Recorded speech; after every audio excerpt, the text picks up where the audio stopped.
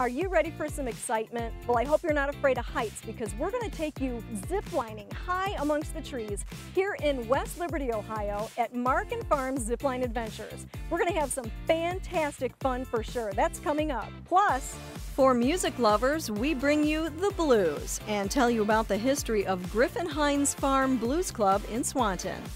Then meet Deane Arnold, a graphic artist with an odd affinity for pumpkins. We're going to find out why. And volunteers are building a B 17 bomber in Urbana. We'll admire their handiwork, the Champaign Lady, coming up. Stay right there. Your adventure starts next here on Scenic Stops.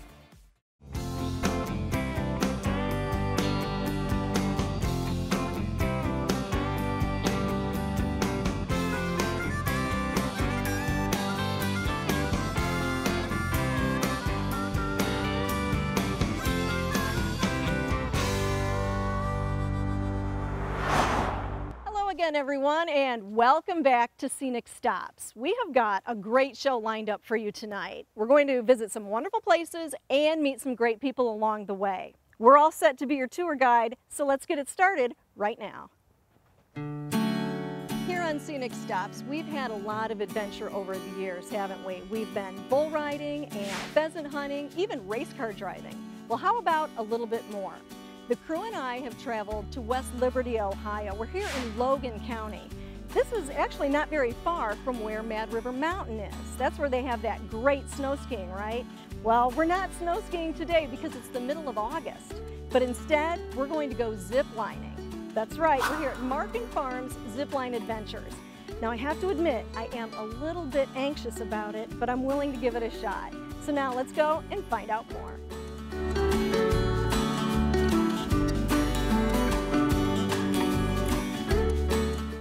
So I am here right now with the owner of Markin Zipline Adventures, Terry Markin. Terry, thank you so much for having me and the crew out here today. Well, you're welcome. Thanks for coming.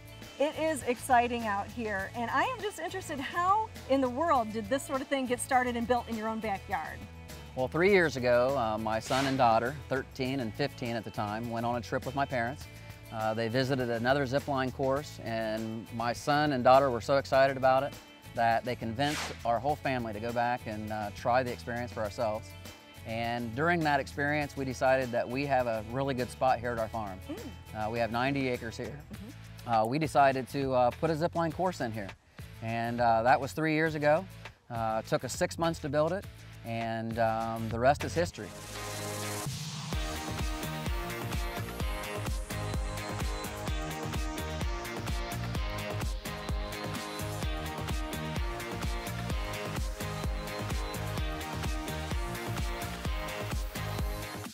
We tell people that we plant about 50 acres in crops and the rest is playground.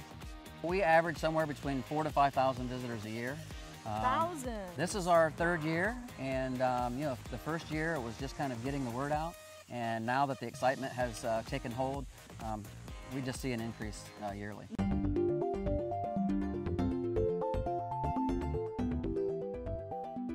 We have uh, 12 zip lines and we have five rope challenges that we do and uh, it takes approximately two and a half hours to go through our whole course. Uh, you have people come from all over, I imagine. Well, of course, we're located in Ohio, and so Ohio is a given, but we have people that come from all over the United States and also from many different countries. That's fantastic. So obviously it appeals to people of all age groups. It does. Uh, we have a junior course for ages two to six, and uh, our main course is for ages seven and up. And our oldest participant is 91 years old, and uh, he was just here oh two, two months ago. And his comment before he left was that he was going to come back every year on his birthday. So what would you say, what are one of the reasons why people do keep coming back for more? Why, why do they love this so much? Probably the, one of the biggest reasons is our guides.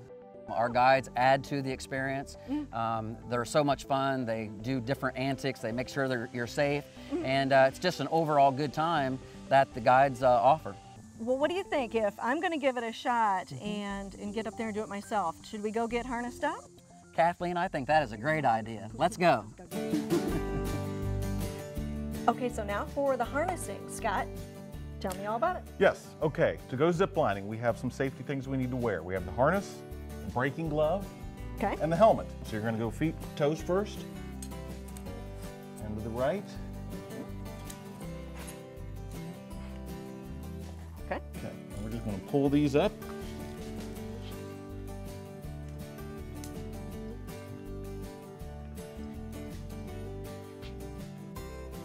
That. Mm-hmm.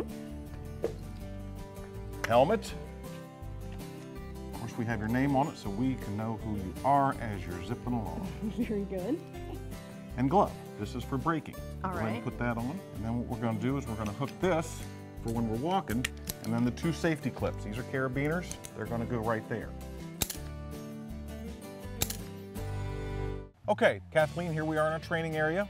And the first thing we want to do is we're going to take our safety clips and we're going to clip in one. We're going to clip in two. Go ahead. Good. Now, let's go ahead and lean back. Trust the equipment a little bit. This is what's going to feel like when we're riding on the zip line. So this will definitely support our weight. We'll be safe the whole time. Now, bare hand here, and you're going to just squat down a little bit, and you're going to say zipping, mm-hmm. and I'll say zip away. Ready when you are. Zipping. Zip away. Okay, a little break, pull down. Feet up, feet up, feet up. Good. Stand up. Now we're safely off the zip cable and we're ready to go zip for real. You're a good teacher, Scott. Thank you very much. Let's go go. zipping. Well, that was great fun. And if you want adventure like this, you got to get here to West Liberty and visit Markin Farms Zipline Adventure for yourself. And if you want more information, they have it on their website at markinfarms.com. Now I'm ready to go again. Zipping! Zip away!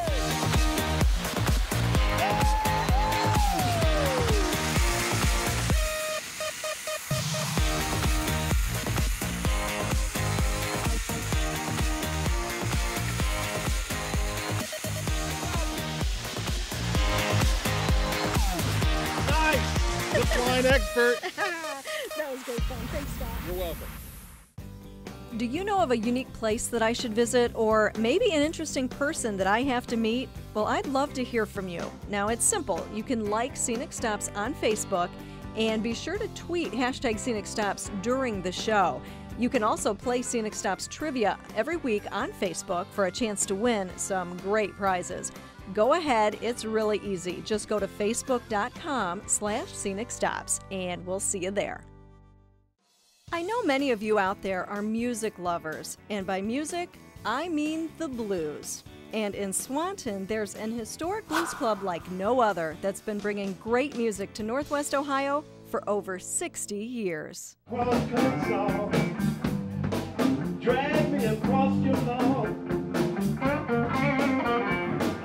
Your wood so easy for you.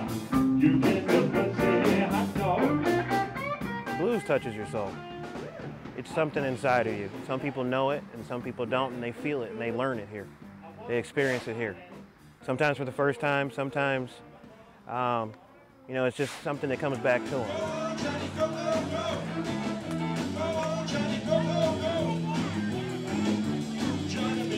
Or it takes them to a different place. And the combination of that, good friends, and family um, makes for a great time out here. Well, the original owners of uh, Hines Farm, uh, Frank and Sarah Hines, they used to call him Sonny, as a matter of fact. Uh, back in the late 30s and the 40s, they uh, were entrepreneurs and they had an idea. And one of their things that they wanted to do was be able to have a place where people could come, have fun, have no types of drama. Hines Farm was a place where everybody would come to. Um, it was actually kind of considered as a black country club of sorts. Uh, you had many famous acts here, B.B. King, Johnny Lee Hooker, uh, the O'Jays, and a lot of other a lot of other groups and artists have been here. But one of the things that they did that was also uncanny and a little bit different is that they had drag racing. They raced motorcycles, they horse raced, they had mini golf, they had skating, um, they had festivals and hay rides. They did anything and everything out there to be able to bring the community in and to give them a good time. Sonny Hines allowed anybody, uh, whatever color that they were, to be able to come into his club. Um, the only thing that he asked is that they dropped all their weapons or guns or whatever else back in those days. They drop them at the door, they could pick them up when they leave, just come and have a good time.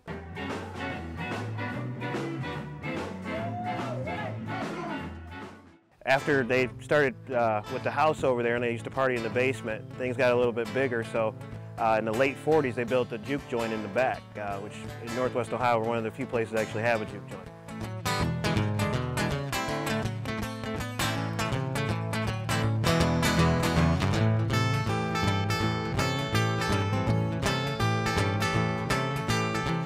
Uh, which it's been uh, preserved back there, still good standing. Um, and then in 1956, they decided to build this building behind us.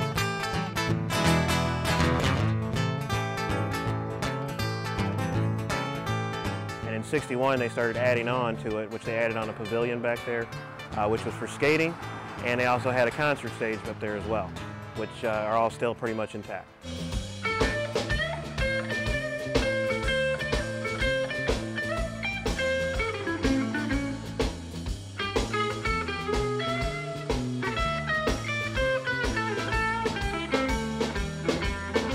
One of the things that happened in the late uh, 70s, uh, Sarah Hines passed away and it kind of took the wind out of uh, Sonny Hines' sails. Um, after that he got a little sick, uh, the place ended up closing down. They boarded it up and then in the late 70s my dad picked up the place.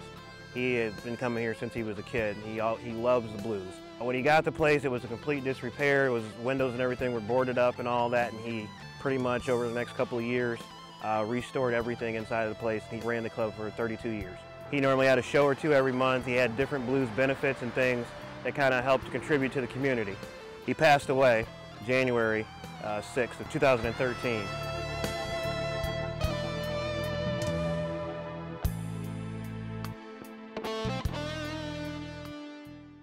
After he passed away, we were kind of locked out of the building. Ceilings collapsed, the roof, the roof caved in, all the plumbing, electrical, uh, floors were chewed up, everything was a complete disrepair. Um, a lot of people said that we probably wouldn't be able to do it again and that this place was done forever and uh, we'd probably more than likely sell the place. One of the things that he always used to impress on us was to uh, keep the blues alive, keep it original, no matter whatever happened to him. Um, always keep this place going. And uh, that's kind of what brings you to me. I took it upon myself uh, with some other family members as well to uh, give it all I had, put everything into it. So we've restored the place. Um, we've put a lot of things back in place where they belong. We've repainted the building. We've redone the inside and the outside because of what he did for the community, what he did for us, and what he wanted. His wishes were to have this, to, to continue to run.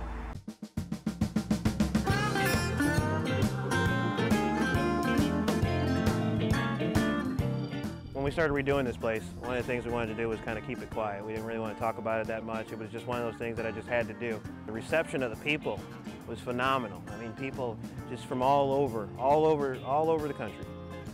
And I literally mean the country.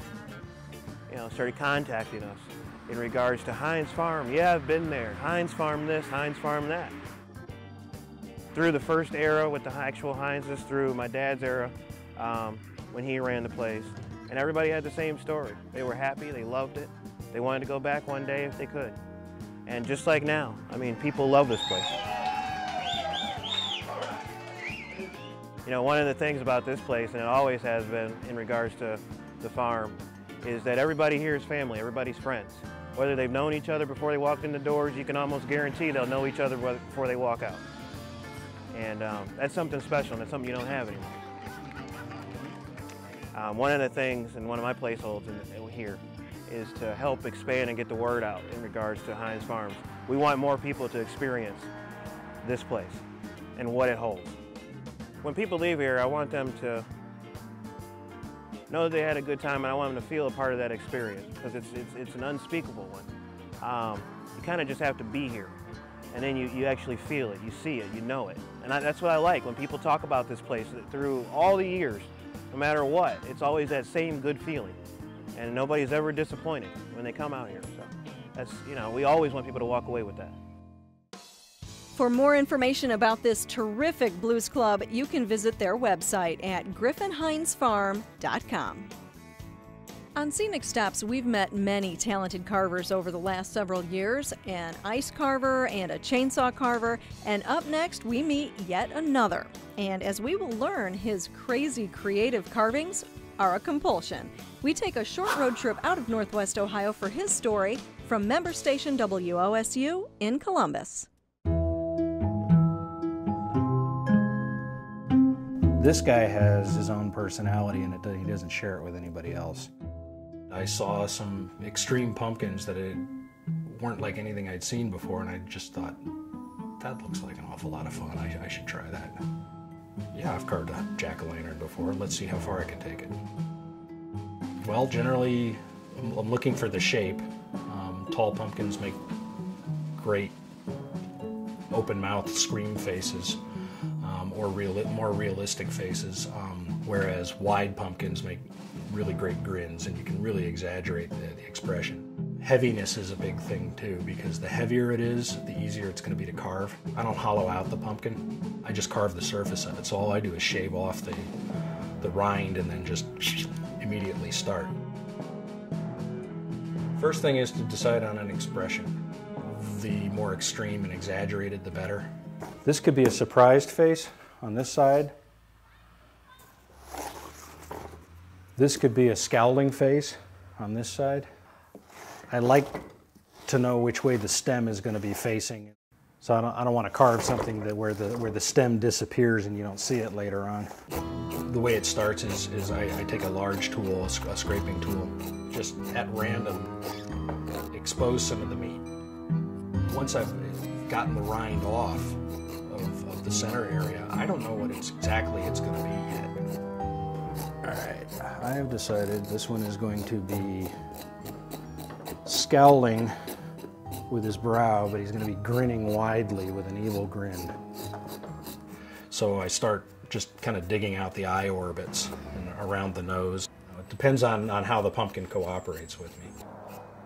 I have one X-Acto knife that I use for the for the final tiny little details, like when I'm cutting the teeth or something like that. Um, but almost everything is, is just a scraping tool.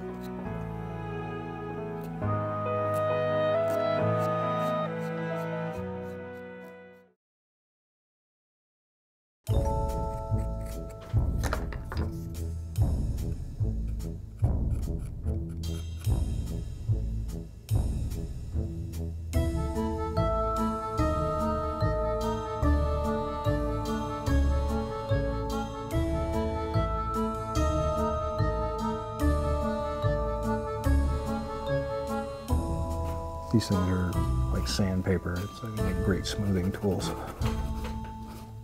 Whenever I get to this point, I have this overwhelming memory trace of when I'm at my dentist and my dental hygienist is flossing me. They all rot, they all rot at about the same pace, but they generally last about two days before the nose starts to shrivel up and, and dry and and usually by the time I do throw them out, it, I have to use a shovel. Last year it was just an experiment to see if I could do it. This year is less of an experiment. It's the, exper the experiment's still there, but now it's to see how well I can do it. I'm nuts. Are you kidding? it's a compulsion. Still to come, we're going to take you back to the 1940s with the story of some amazing volunteers who are building a World War II B 17 bomber by hand in an airport hangar in Urbana. That's next. In our next story, we introduce you to the Champaign Lady. She is beautiful for sure, and she preserves the memory of our World War II fighter pilots thanks to many dedicated volunteers. Our final scenic stop is to Grimes Field Airport in Urbana. Uh,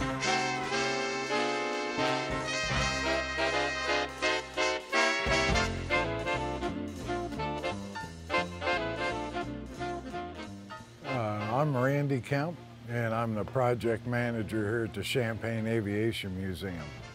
It uh, initially began with the acquisition of a B-17 as a project airplane uh, back in 2006.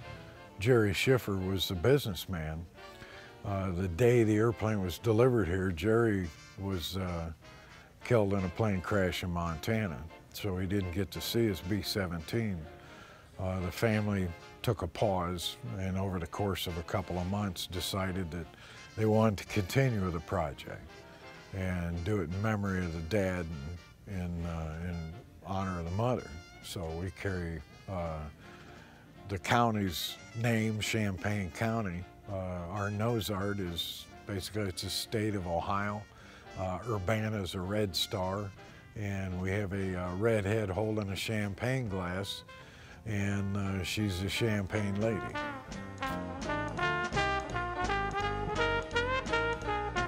We're going to build a flying airplane. Uh, currently, we've got the fuselage here in the hangar in work. Uh, we're about 85 to 90 percent complete with the fuselage, and uh, there's a lot of this airplane that we were missing. Uh, it's amazing because one of the volunteers said, anything you need, you just go put a chair by the front door and wait 20 minutes, it'll walk in. I've been after an upper turret, which is a flight engineer's position, the top gun turret. The phone rings, and it's a guy in Springfield. Do you need one? And your chin hits the floor. You're standing there. He's talking about what you're looking at. That uh, it's pretty spooky sometimes. I don't think there's too many people that all of a sudden you have a Norden bombsight walk in, and they tell you, "Here, you got to have this," you know. I can't use it, I don't need it. Uh, navigator comes in with a navigator gyro compass, which is by today's standards quite a boat anchor. It's a big, heavy gyro. And uh, he said, my dad had this. He was a navigator on a B-17. He said, I want you to have it. I want it in a B-17. I said, it's going in one.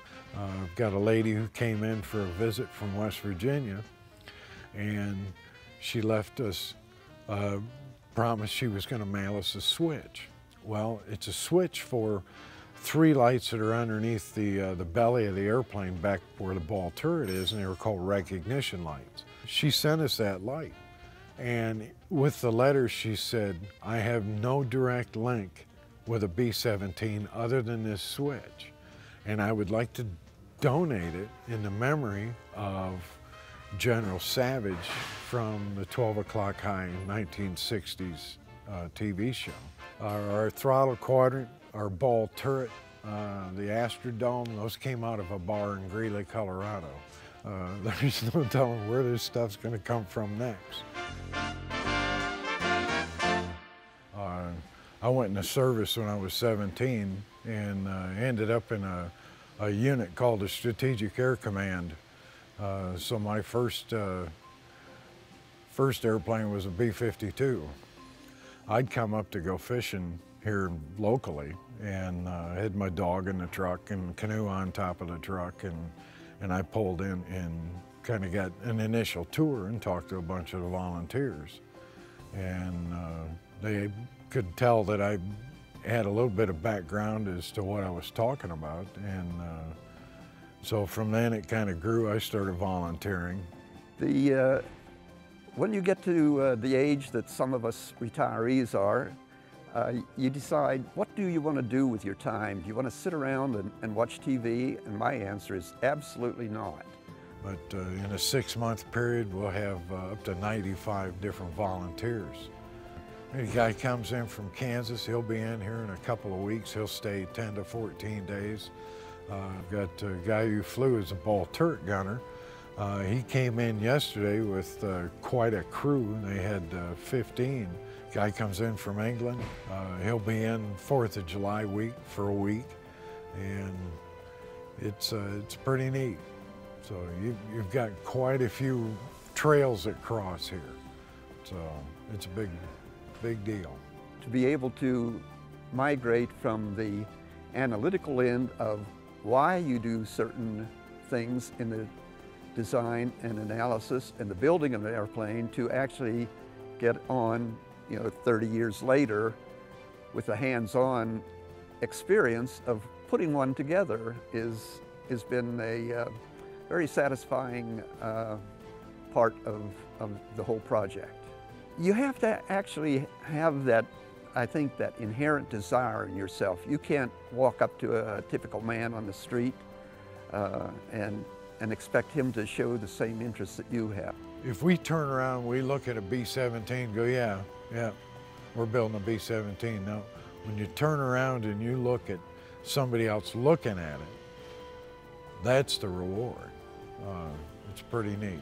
So to see a guy come in here who's got uh, of failing health, uh, they're in their 90s. Uh, he gets to where he can see enough of the airplane, he'll pause. Uh, he'll tear up. We'll tear up. Uh, give him a second. He'll catch himself. He'll right himself. He'll stand up a little taller, and the adrenaline starts to move. And uh, when they get near the airplane, even to just touch it, uh, to see it, uh, a shining brand new B-17, it brings those stories out. And it's, uh, it's humbling.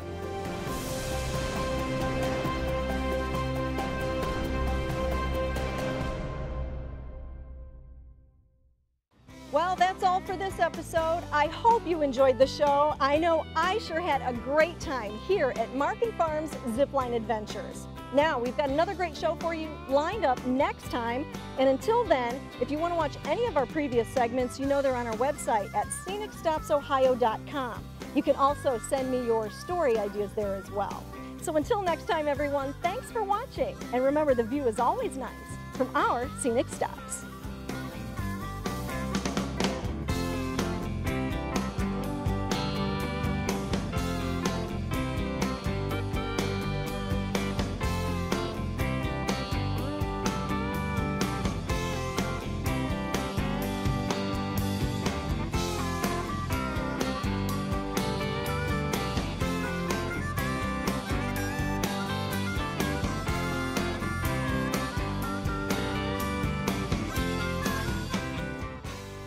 Next is Northwest Ohio Journal with your host, Steve Kendall. What's the topic for us tonight, Steve?